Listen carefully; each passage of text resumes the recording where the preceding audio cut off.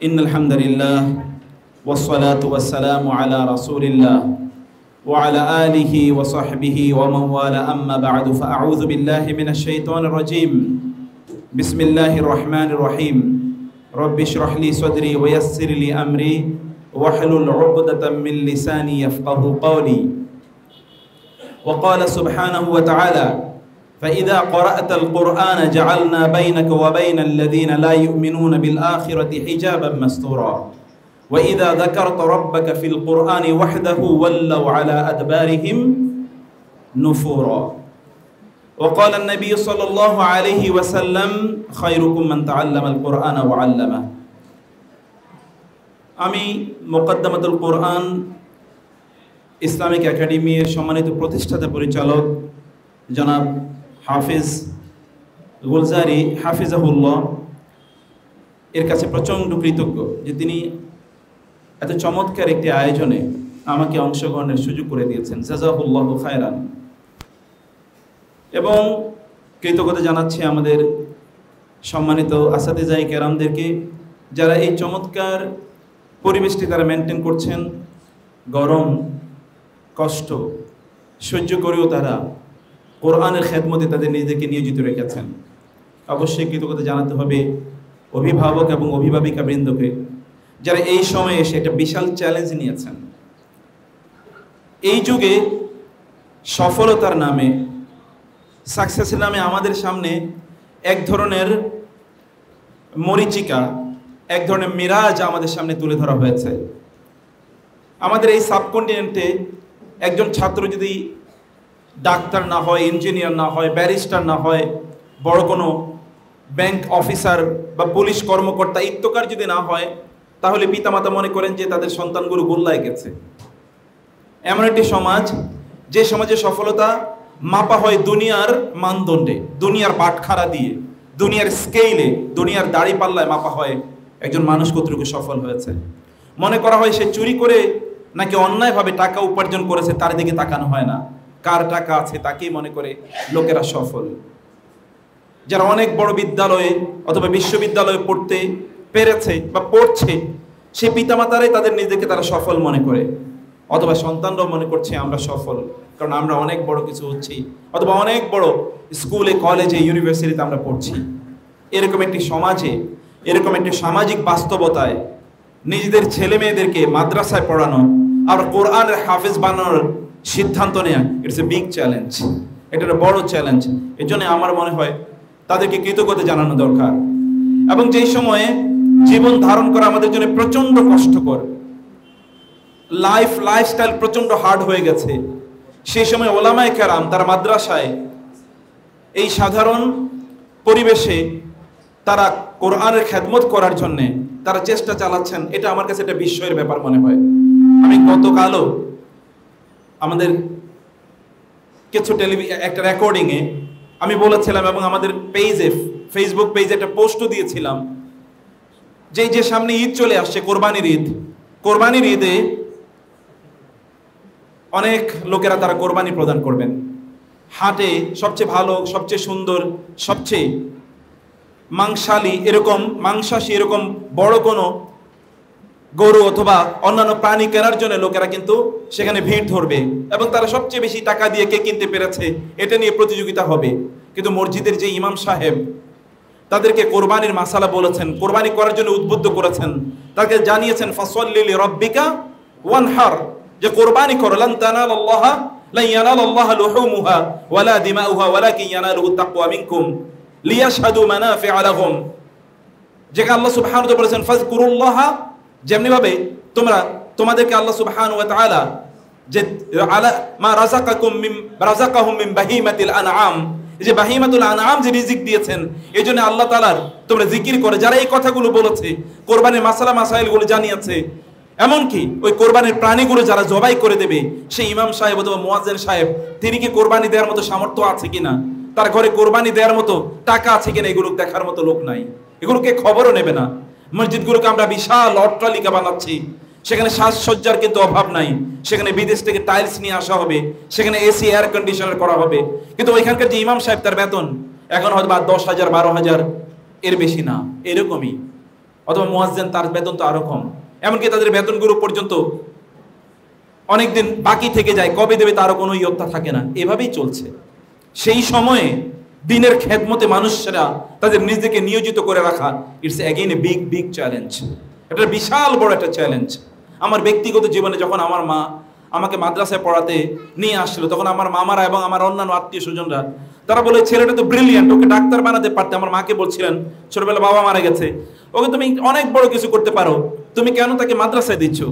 আমার মা বলেছেন, ও যদি ডাক্তার না হয়, সে যদি মাদ্রাসায় যায়, একটু কোরআন, হাদিস পড়ে। এতটুকু আমার জন্য যথেষ্ট। আমার মা আজকে বুঝাচ্ছেন যে তিনি ভুল করেননি। আমি জন্য অভিভাবক অভিভাবিকাদেরকে আমি বলব যে স্রোতের একটা আন্ডার কারেন্টস আছে, যেখানে প্রচণ্ড শক্তিমান একটা স্রোত প্রবাহিত, যেখানে মাদ্রাসায় পড়লেই একটু বাঁকা চোখে দেখা হয়। ইন্নাল্লাযীনা আজরামু কানু আমানু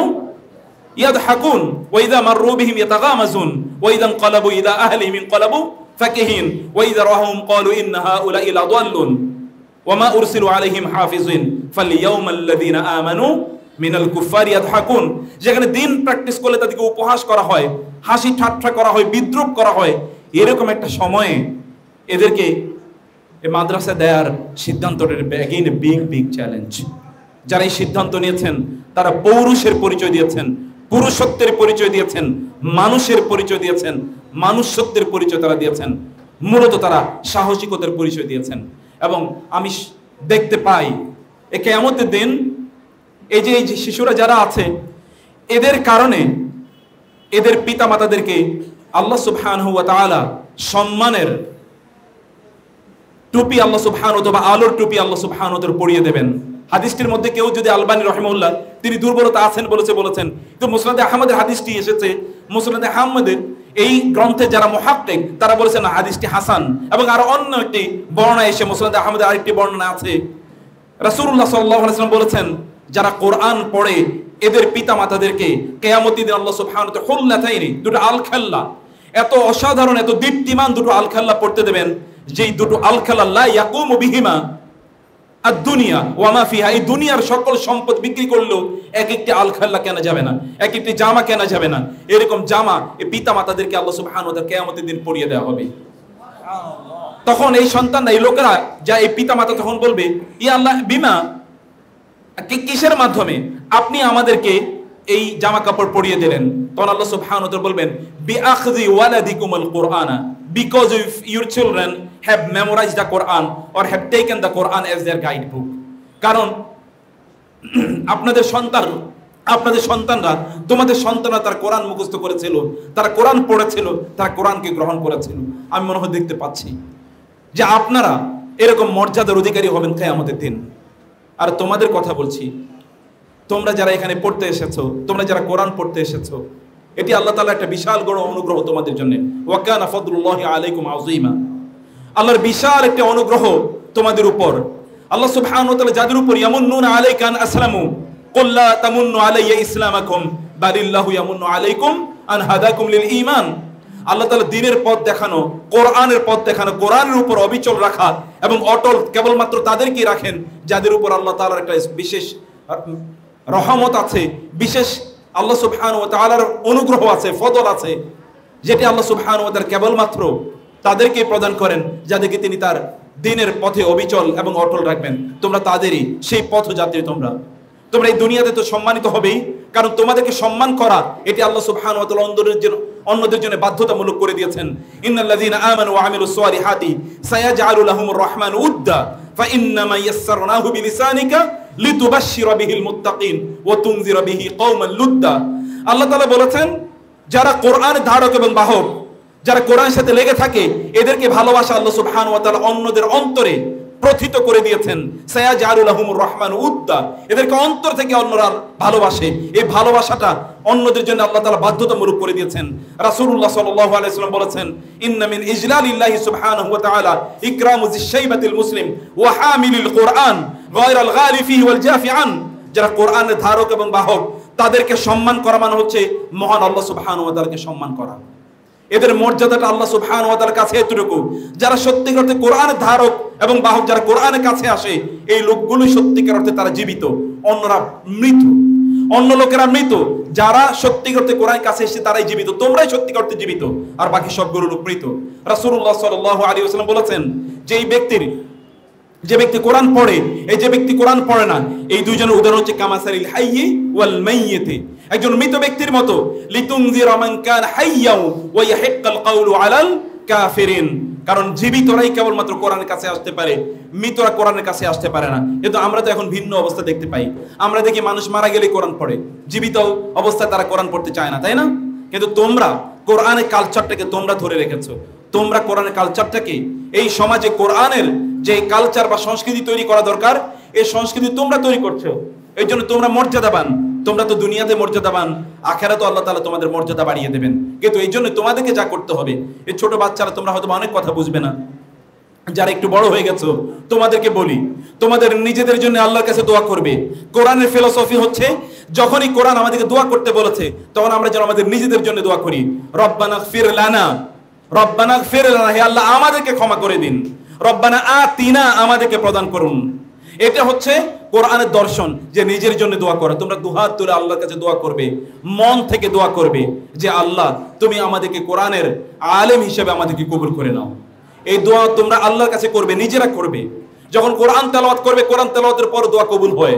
নামাজের শেষে দোয়া কবুল হয়, সেজদার মধ্যে দোয়া কবুল হয়, তোমরা নিজেরা তোমাদের জন্য দোয়া করবে, কারণ তোমাদের দোয়া তোমাদের জন্য সবচেয়ে বেশি কবুল হবে। তোমরা দোয়া করা এটা আল্লাহর আবাদত অথবা শ্রেষ্ঠতম আবাদত হচ্ছে আর দোয়া ও মুখুল ইবাদা আর দোয়া ও আল ইবাদা দোয়াই হচ্ছে ইবাদত। দোয়ার চেয়ে বড় কোনো ইবাদত নাই। তোমরা দোয়া করো। তোমাদের দোয়া আল্লাহ তালা কবুল করে নেবেন। যেন আল্লাহ তাআলা তোমাদেরকে শক্তিমান হাফেজ হিসেবে কবুল করে নেন। এবং আল্লাহ সুবহানাহু ওয়া তাআলা যেন তোমাদেরকে কোরআনের খাদেম, কোরআনের আলেম হিসেবে কবুল করে নেন। সাহাবায়ে কেরামরা তারা কোরআন না বুঝলে তারা কাঁদতেন।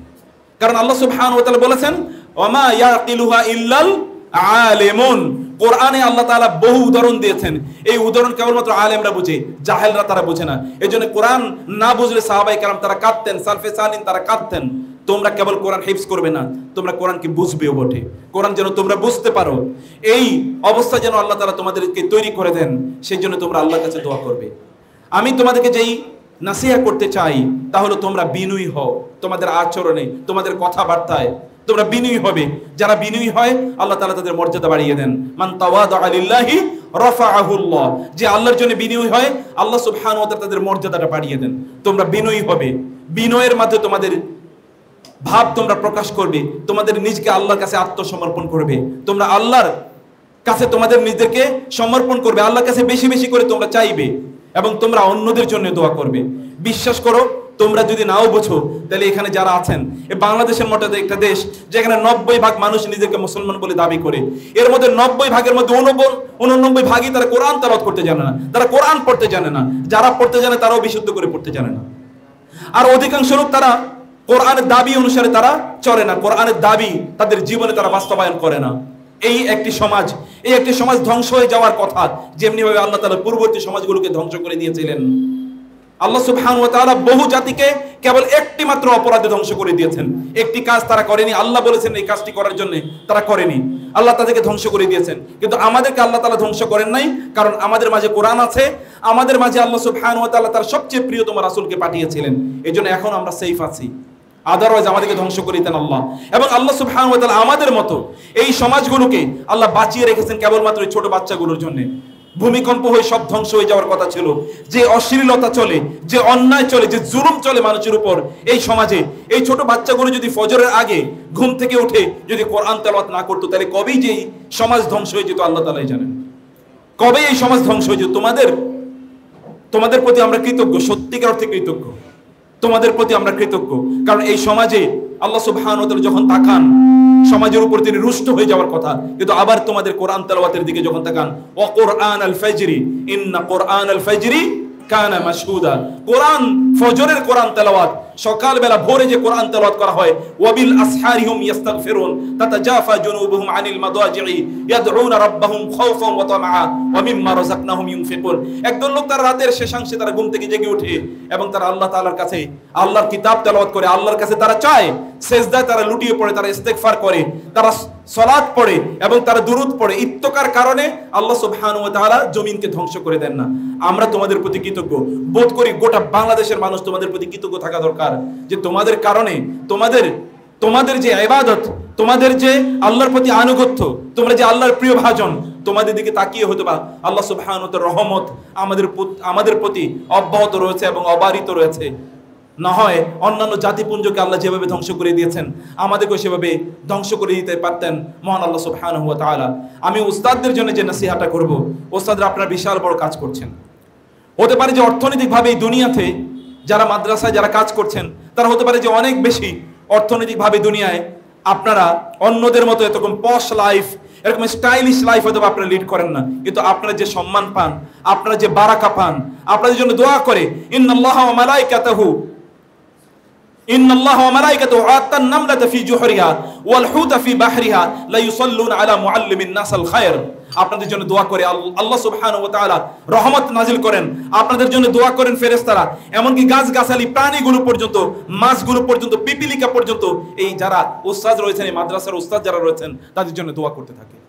এই পিপিলিকা পর্যন্ত দোয়া করতে থাকে আল্লাহ। মুআল্লিমিন নাসাল খায়ের। এরা মানুষকে কল্যাণ শিক্ষা দেন, কোরআন শিক্ষা দেন, দিন শিক্ষা দেন। আল্লাহ, তুমি তাদের উপরে স্পেশাল রহমত নাজিল করো। এই জন্য ওলামাই কারামদের ঘরে দেখবেন শান্তি। তাদের স্ত্রীরা পালিয়ে চলে যায় না। তাদের সন্তানগুলো বখাটে হয় না। তাদের পিতামাতার সাথে তাদের কখনো, তাদের পিতামাতারা বৃদ্ধাশ্রমে থাকতে হয় না। তাদের পিতামাতাদের সাথে তাদের সম্পর্ক কখনো নষ্ট হয় না। তাদের মায়েদের দিকে তাকিয়ে তারা উঁচু কণ্ঠে তারা কথা বলে না। তাদের দিকে চোখ রাঙিয়ে তারা কথা বলে না। সর্বদা সর্বদা তাদের মাথাটা নিচু থাকে। আল্লাহ সুবহানাহু ওয়া তাদের ঘরগুলোকে সাকিনা দিয়ে, প্রশান্তি দিয়ে আল্লাহ তালা ভর্তি করে দেন। কারণ একটাই, কারণ হচ্ছে এরা আল্লাহর দিনের জন্য তাদের নিজেদেরকে কোরবানি করে দিয়েছে, নিবেদিত করে দিয়েছে। দুনিয়া তো এখানে, কিন্তু আখেরাতে আল্লাহ সুবহানাহু ওয়া তাআলা এই ওলামায়ে কেরামদের জন্য কি ব্যবস্থা করে রেখেছেন? আল্লাহ সুবহানাহু ওয়া তাআলা ওলামায়ে কেরামদের জন্য জান্নাতের ব্যবস্থা করে রেখেছেন। মা লা আইনুন রাআত ওয়ালা উযুনুন সামিআত ওয়ালা খাতার আলা কলবি বাশার। এমন জান্নাতের ব্যবস্থা করে রেখেছেন যে জান্নাতের কথা কেউ চিন্তা করতে পারে না। দুনিয়ার অট্টালিকা দিয়ে লাভ হবে কি বলেন? দুনিয়ার অট্টালিকা দিয়ে কি লাভ হবে?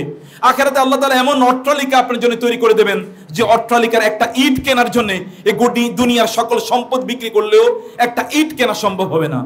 আপনার মাথায় যে হ্যান্ডকারশিপ মাথায় যে রুমালটা দেওয়া হবে হাতে যে হ্যান্ডকারশিপটা এই ওলামায়ে খেরাম যারা দিনের জন্য তাদের জীবনকে উৎসর্গ করে দিয়েছেন তাদেরকে আল্লাহ তালা দেবেন এই গোটা পৃথিবীর সকল সম্পদ বিক্রি করলেও একটা হ্যান্ডকারশিপ অথবা মাথার একটা রুমাল কেনার মতো সমর্থ হবে না কারও। সেই রকম মর্যাদা আল্লাহ তালা আপনাদেরকে প্রদান করবেন। আপনারা আখলা- এখলাসের সাথে যদি আপনাদের কাজটি পালন করে যান, এরা দোয়া করবে ইমাম আবু হানিফ রাহেমউল্লাহ তিনি বলেছেন, আমি আমার উস্তাদ হাম্মাদের জন্য, আমার বাবার জন্য যতবার দোয়া করেছি, আমি উস্তাদ হাম্মাদের জন্য ততবার দোয়া করেছি। ইমাম আবু হানিফার ছাত্র আবু ইউসুফ রাহেমউল্লাহ তিনি বলেছেন, আমার বাবার চেয়ে আমি আমার উস্তাদ ইমাম আবু হানিফার জন্য বেশি বেশি দোয়া করেছি। কারণ আমার বাবা আমাকে জন্ম দিয়েছে বটে, কিন্তু সত্যিকারতে মানুষ বানিয়েছে ইমাম আবু হানিফা রহমউল্লাহ ইমাম শাফি বলেছে, আমি যতবারই হাত তুলেছি, ততবারই আমার উস্তাদ ইমাম আহমদ, ইমাম মালিকের জন্য আমি দোয়া করেছি।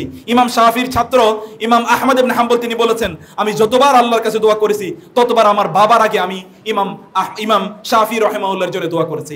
আপনাদের ছাত্ররা আপনাদের জন্য এরকম দোয়া করবে। এবং আমরাও আমাদের উস্তাদদের জন্য দোয়া করি। আপনারাও আপনাদের উস্তাদদের জন্য দোয়া করেন। এরা দোয়া করবে যদি সত্যিকার অর্থে এদের প্রতি আমরা দায়িত্ব পালন করতে পারি, এদেরকে যদি মানুষ হিসেবে গড়ে তুলতে পারি। কোরআন তেলাওয়াত, কোরআন শুদ্ধ করে পড়তে পারা, কোরআনের হেফজেই একমাত্র উদ্দেশ্য নয়, এরা যেন ভালো মানুষ হয়। বিশ্বাস করেন, এই সমাজে ভালো মানুষের প্রচণ্ড অভাব। রাসূলুল্লাহ সাল্লাল্লাহু আলাইহি বলেছেন, কোন এক সময় এমন একটা সময় আসবে, যখন বলা হবে যে ওই অঞ্চলে একজন আমানতদার, একজন ভালো মানুষ আছে। এখনও তো তাই। ভালো মানুষটা আপনি খুঁজে পাবেন না।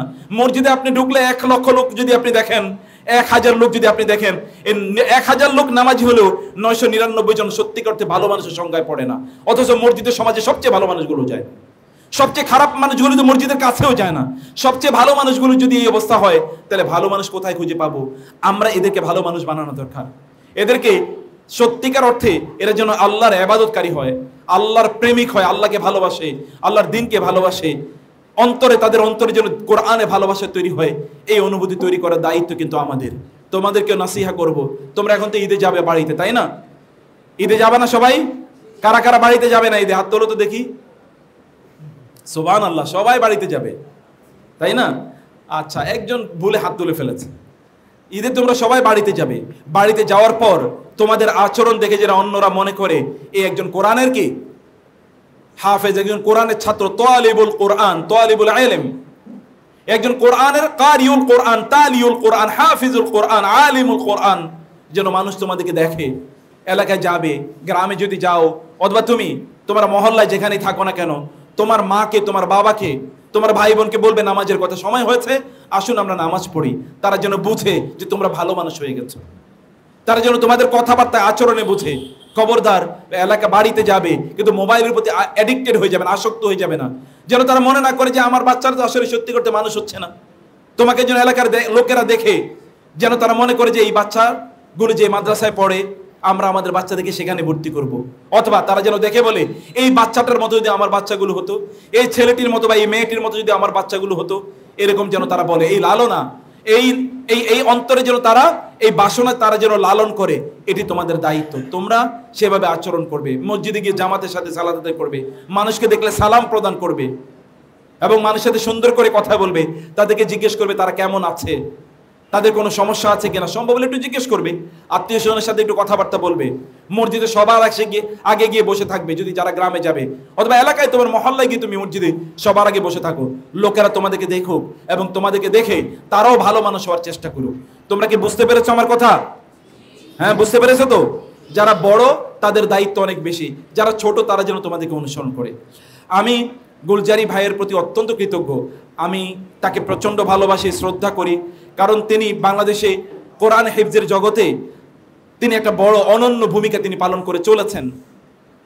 এক বছর, দুই বছর না, গত পনেরো, বিশ বিশ বছর পর্যন্ত তিনি বিশাল ভূমিকা পালন করে গিয়েছেন এবং বাংলাদেশের কোরআনের হাফেজরা তারা আন্তর্জাতিক অঙ্গনে গিয়ে যেন বাংলাদেশকে কোরআনের দেশ হিসেবে তারা পরিচয় করিয়ে দিতে পারে। এই ভূমিকাটি যারা পালন করছেন তিনি তার মধ্যে অন্যতম এবং আলহামদুলিল্লাহ তিনি এই কাজ আগেও করেছেন, এখনও তিনি করছেন, দক্ষতার সাথে করছেন we can trust in him আমরা তার প্রতি আস্থা রাখতে পারি এবং তার জন্য আমরা দোয়া করি। আল্লাহ তালা যেন তাকে এবং তার টিমকে যেন আল্লাহ তালা কবুল করে নেন। কোরআন তোমাদেরকে ঠকানোর জন্য আসে নাই, বিশ্বাস করো। কোরআন আল্লাহ তালা বলেছেন, তোহা মা আনজালনা আলাইকাল কোরআনা লিতাশকা। রাসূলুল্লাহ সাল্লাল্লাহু আলাইহি আল্লাহ বলেন, আমি কোরআন এই জন্য নাজিল করিনি যে কোরআন পাওয়ার পর আপনি হতভাগা হবেন। বরং কোরআনে আল্লাহ তাআলা বলেছেন, ওয়াজআলনা লিল মুত্তাকিনা ইমামা। কোরআন যারা পায় তারা সমাজের নেতৃত্ব প্রদান করে, নেতৃত্ব প্রদানের মতো যোগ্যতা দিয়ে আল্লাহ তালা তাদেরকে প্রেরণ করেছেন। আলাইহি ওয়াসাল্লাম বিভিন্ন জায়গায় যখন মিলিটারি বাহিনী তিনি পাঠাতেন, বিভিন্ন যোদ্ধা দল, মুজাহিদ দল তিনি যখন পাঠাতেন, তখন ওই মুজাহিদ দলের কমান্ডার ইন চিফ যুদ্ধের ময়দানে কে? যুদ্ধের সেনাপতি হবে, এটা নির্ধারণ করার জন্য বলতেন, কে বেশি কোরআন তেলাওয়াত করতে পারে, কে বেশি কোরআন হিফজ করতে পেরেছে, কার কোরআন হিফজ বেশি? এমনকি সুরাতুল বাকারা যে হিফজ করেছে, তৎকালীন যুগে সুরায় বাকারা হিফজ করা অত্যন্ত বড় একটা ব্যাপার ছিল। যারা সুরায় বাকারা হিফজ করেছে, তাদেরকে তিনি কি? তাদেরকে তিনি নেতা বানিয়ে দিতেন, অন্যদের নেতা বানিয়ে দিতেন। তোমরা তো ইমাম, মসজিদের তোমরা নেতা। তোমাদের অধীনে নামাজ আদায় করে এই সমাজের লোকেরা। এই সমাজের অন্যান্য নেতারা তোমাদের অধীনে নামাজ আদায় করে। তোমরা চাইলে সমাজেরও তোমরা নেতা হতে পারো, কিন্তু তোমাদেরকে আল্লাহকে চাইতে হবে। বলতে হবে ও আল্লাহ লিল মুত্তাকিনা ইমামা। এটা তোমাদেরকে বলতে হবে। তোমাদের পিতা ইব্রাহিমকে আল্লাহ তালা এই কথাই বলেছেন তোমাদের পিতা ইব্রাহিমকে আল্লাহ তাআলা বলেছেন, ইন্নি জাইলুকা লিন্নাসি ইমামা। ক্বালা ওয়া মিন যুররিয়াতি? ক্বালা লা ইয়ানালু আদি যালিমিন। যদি জুলুম করে কেউ, আল্লাহ তাআলা তাকে নেতৃত্বের মর্যাদা প্রদান করবেন না। তোমরা নিজেদের উপর জুলুম করো না, তোমাদের রবের উপর জুলুম করো না। তাইলে তোমরা নেতৃত্ব যেটা ইমামাতুল কোবরা, যেটা মহান নেতৃত্ব, যেটি তোমাদের পিতা ইব্রাহিমকে আল্লাহ তাআলা দিয়েছেন, তোমাদের নবী মুহাম্মদুর রসুল্লাহ সাল্লাল্লাহু আলাইহি সাল্লামকে আল্লাহ তালা দিয়েছেন, সেটি আল্লাহ তালা তোমাদেরকে প্রদান করবেন সেটা তোমরা অবশ্যই পাবে। কেবল তোমরা আল্লাহর প্রতি আস্থাশীল হও, আল্লাহর প্রতি অনুগত হও, আল্লাহর কিতাবকে আঁকড়ে ধরো। আল্লাহর কিতাবকে আঁকড়ে ধরলে তোমরা দুনিয়াতে সম্মানিত হবে আখেরাতে সম্মানিত হবে। সন্তানের জন্য আল্লাহর কাছে দোয়া করেছেন। অথবা আব্দুল ইবনে আব্বাসের মায়ের মতো হয়ে যান না। তিনি তো তার জামালুল কোরআন, মুতারজিমুল কোরআন, the commentator of the Quran, মুফাসসিরুল কোরআন। কেয়ামত পর্যন্ত কোরআনে যত মুফাসসির আসবে, তাদের নেতা হচ্ছে আব্দুল ইবনে আব্বাস। কীভাবে তিনি হয়েছেন? তার মার এখানে অবদান আছে। তার মা তাকে রাত জেগে এবাদত করার জন্য, রাসূলের সুন্না মোতাবেক চলার জন্য পাঠিয়ে দিয়েছিলেন যাও, রাসূলের সাথে একটা রাত কাটিয়ে আসো এবং দেখো তিনি কীভাবে তার রাত কাটান। মায়েরা আপনারা আল্লাহ আল্লাহ হয়ে যান। তাহলে আপনাদের সন্তানরা, তারা দুনিয়াতেও সম্মানিত হবে, আখেরাতেও সম্মানিত হবে। আপনাদের মুখগুলোকে উজ্জ্বল করবে। আপনাদের জন্য ওরা এখনও বলবে, রব্বের হাম হুমা কামা রব্বাই আনি সাকিরা আপনাদের মৃত্যুর পর তারা চোখ বন্ধ করে, চোখ থেকে পানির টকবক টকবক করে তাদের শক্তি চোখ থেকে পানি পড়বে। এই পানির ফোঁটা ফেলে ফেলে তারা আপনাদের জন্য দোয়া করবে। রব্বির হামহুমা কামা রব্বাইয়ানি সগীরা। আপনি জান্নাতি না হলে আপনি জান্নাতি হবেন। আর যদি জান্নাতি হয়ে থাকেন তাহলে আপনার মর্যাদা বাড়তে থাকবে। আপনি হয়তো বা সেদিন অবাক হয়ে বলবেন আল্লাহ আমি তো জান্নাতে আছি। আমার জান্নাতে মর্যাদা বাড়লো কীভাবে? তখন আপনার রব আপনাকে বলবে বে ইস্তিগফারি ওয়ালাদিক আলাকা তোমার সন্তান তোমার জন্য দোয়া করেছে। এর জন্য আমি তোমার জন্য জান্নাতের মর্যাদা বাড়িয়ে দিয়েছি। আমি বলব যে আপনারা দিনদার হন প্লিজ। আপনারা দিনদার হন এখানে বাবারা যারা আছেন, আপনাদের সন্তানদেরকে আপনারা অনেক বড় আলেম বানাতে চান না? আপনি নিজে যদি দিন প্র্যাকটিস না করে আপনার সন্তান কীভাবে বড় আলেম হবে? আপনার নিজের মধ্যে ইসলাম নাই, আপনার নিজের ইনকাম হালাল নাই, অথবা আপনার নিজের নামাজের প্রতি কোনো খেয়াল নাই, অথবা আপনার নিজের মধ্যে আপনাকে দেখলে একজন সাচ্চা শক্তিশালী মুসলমান মনে হয় না।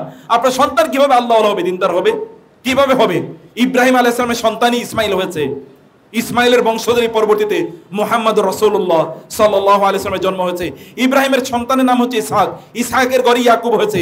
ইয়াকুবের ঘরে পরবর্তীতে বারো সন্তান হয়েছে, বানি ইসরাইল। এবং যত নবী এসে পরবর্তীতে ঈসা, মুসা অথবা সুলাইমান এবং ইব্রাহিম, সুলাইমান এবং দাউদ, যত নবী এসে সব কিন্তু এই বংশধারা এসেছে। আপনি ভালো হন, তাহলে আপনার সন্তানটা ভালো হবে। ওয়াকান আবু হুমা সোয়ালেহা ওয়াকান আবু হুমা সোয়ালেহা পিতামাতা যদি ভালো হয়, আল্লাহ তালা সন্তানদেরকে এমনি ভালো বানিয়ে দেন। আপনার ভালো হন, প্লিজ। নিজেদেরকে ভালো করার চ্যালেঞ্জ গ্রহণ করুন। সন্তানরা ভালো হবে, আপনি ভালো হবেন না। এটা কখনো হতে পারে না। আপনি রোল মডেল হন, এদেরকে দেখান যে কীভাবে ভালো মানুষ হতে হয়। আমি কৃতজ্ঞ এখানে আসতে পেরে। আই লার্ন টু লট আমি অনেক কিছু শিখেছি। আমি বুঝতে পেরেছি যে এটি আসলে একটা জান্নাতের বাগান, যেখানে কোরআনে কথা আলোচনা করা হয়। এটি একটি জান্নাতের বাগান, যেখান থেকে জান্নাতে যাওয়া যায়। এটা একটা হাইওয়ের নাম, এটা একটা মহাসড়ক। এই মহাসড়কের এই প্রান্তে হয়তো মোকাদ্দাবাদুল কোরআন আছে। নিশ্চয়ই অন্য প্রান্তে জান্নাত আছে। নিশ্চয়ই। কারণ এটা কেবল জান্নাতের কথা এখানে বলানো হয়। কেবল জান্নাতের স্বপ্ন এখানে দেখানো হয়। কেবল ভালো মানুষ হওয়ার স্বপ্ন দেখানো হয়। কেবল আল্লাহর কথা বলা হয় অথবা আল্লাহর রাসুলের কথা বলা হয়। এখানে দুনিয়ার কোনো উদ্দেশ্য নাই। দুনিয়ার কোনো এজেন্ডাও এখানে নাই। এখানে অন্য কোনো উদ্দেশ্য লালন পালন করে না। আমাদের পূর্ববর্তীরা, আমাদের সালাফরা, তারা আগে কোরআন শিখেছেন অথবা তারা বিশ্ব পরিচালনা করেছেন। জ্ঞানের ক্ষেত্রে, বিজ্ঞানের ক্ষেত্রে এবং অর্থনীতি অথবা রাজনীতি, সকল ক্ষেত্রে তারা গোটা পৃথিবীকে পরিচালনা করেছিলেন। মুসলমানরা তুরস্ক ভিত্তিক যে খেলাফত ছিল এই খেলাফত প্রায় আটশো বছর ছিল। এই যে মোগল খেলাফত যেটা ইন্ডিয়ান সাব কন্টিনেন্টকে পরিচালনা করেছে, প্রায় আটশো বছর এটা মুসলমানরাই করেছে। এখনও মুসলমানদের হাতে যদি সেই কোরআন আবার উঠে আসে, আবারও তারা গোটা পৃথিবীকে পরিচালনা করতে পারবে। সেই জন্য আমাদেরকে কোরআনের কাছেই আসা দরকার। মোকাদ্দমাতুল কোরআন সেই কাজটি করে যাচ্ছে। মোকাদ্দমাতুল কোরআনের এই আয়োজনকে আল্লাহ তারা কবুল করে নিন। হে আল্লাহ, আজকে যারা কোরআন নিয়েছে আল্লাহ, তাদেরকে তুমি কোরআনের বড় হাফিজ হিসেবে কবুল করে নাও। কোরআনের আলেম হিসেবে কবুল করে নাও। কোরআনের খাদেম হিসেবে কবুল করে নাও। কোরআনের মোয়াল্লিম হিসেবে কবুল করে নাও। কোরআনের মুফাসসির হিসেবে কবুল করে নাও আল্লাহ।